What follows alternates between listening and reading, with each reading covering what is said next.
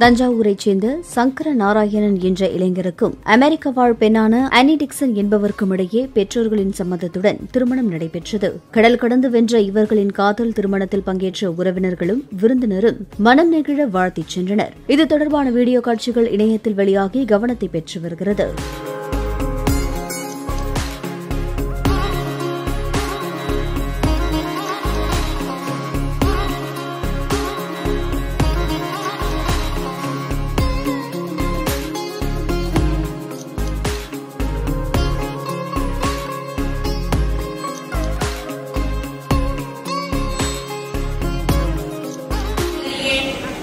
都已经关。